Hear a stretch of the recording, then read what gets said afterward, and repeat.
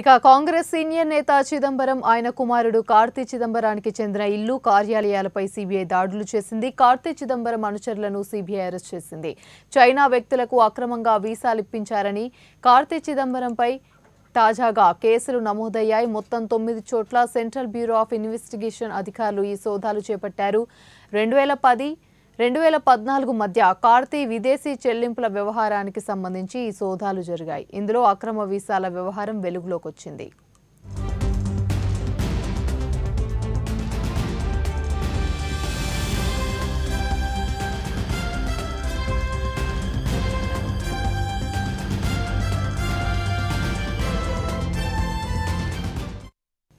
చెన్నైలో మూడు చోట్ల ముంబైలో మూడు చోట్ల కర్ణాటక పంజాబ్ ఒడిశాలో ఒక్కో ఏకకాలంలో.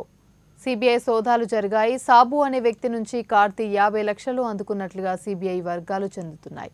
ఇక రెండు వేల పంతొమ్మిదిలో కూడా సిబిఐ కార్తీకి చెందిన పదహారు ఆస్తులపైన దాడులు నిర్వహించింది యూపీఏ హయాంలో. తన తండ్రి చిదంబరం ఆర్థిక శాఖ మంత్రిగా ఉన్నప్పుడు ఐఎన్ఎక్స్ మీడియా మూడు వందల ఐదు కోట్ల మేర విదేశీ నిధులు స్వీకరించేందుకు వీలుగా central foreign investment promotion board అనుమతులు ఇప్పించేందుకు ముడుపులు తీసుకున్నట్లుగా కార్తీ సిబిఐ కేసు నమోదు చేసింది.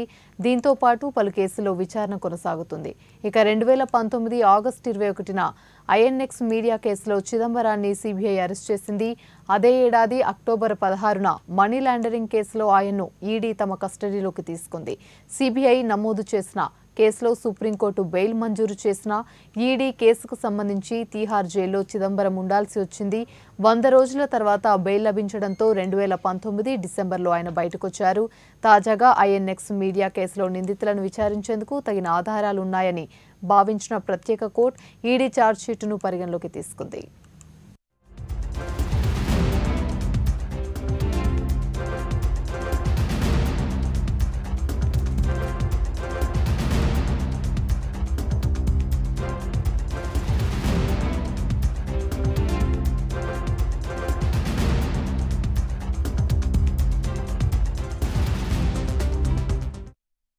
మరోవైపు తాజాగా సీబీఐ సోదాలపై కార్తీ చిదంబరం ట్విట్టర్ వేదికగా స్పందించారు.